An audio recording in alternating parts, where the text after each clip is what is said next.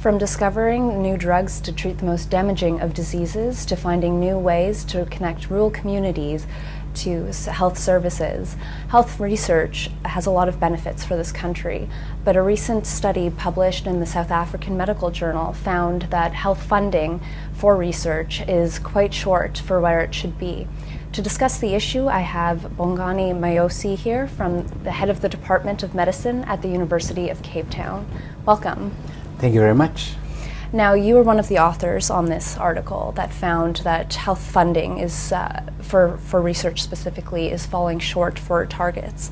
Can you explain a little bit about what those targets are and how uh, you calculated that shortfall? Yes. No, thank you for this opportunity.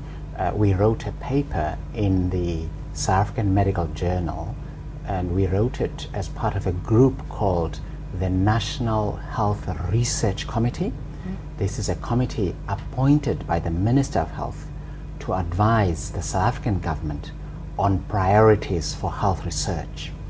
When we started this work, we identified that South Africa was not spending enough on health research. Um, there are various uh, uh, criteria that are used to determine the amount of money that should be spent on health research.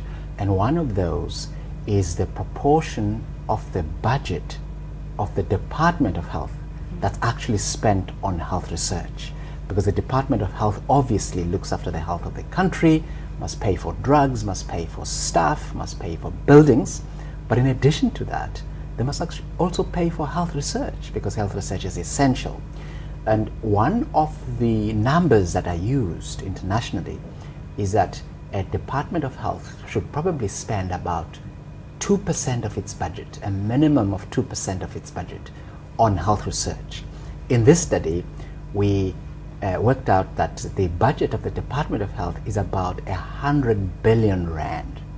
And 2% of 100 billion should be 2 billion rand. Mm. But in fact, when we looked at the number that the department was uh, spending through Parliament, it was 400 million rand, which is far short of what is needed. And this is one of the reasons South Africa is not doing as well as it should in the generation of the knowledge that's required to solve the health prob problems that exist.